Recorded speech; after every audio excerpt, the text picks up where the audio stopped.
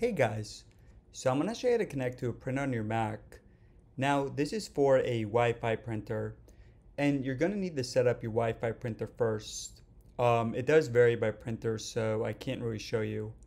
But yeah, after you set up your Wi-Fi printer, uh, on your Mac just click on the Apple logo here in the top left corner and click on System Preferences. Alright, so from here click on Printers and Scanners now you guys see right here, this is my printer list. So there's nothing, uh, nothing on it. Now you're gonna press right here on the plus button. And you guys should see the printer. So this is mine. Now if you don't see it, then you can press right here on IP and type in a printer, uh, printer IP address that should be listed on the printer itself. Um, otherwise, you're probably not connected to the Wi-Fi network.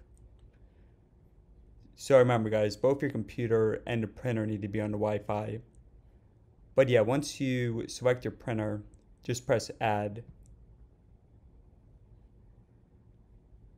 And you guys see we are connected.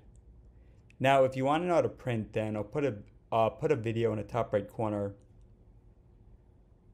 But yeah, guys, otherwise, hopefully this helped out.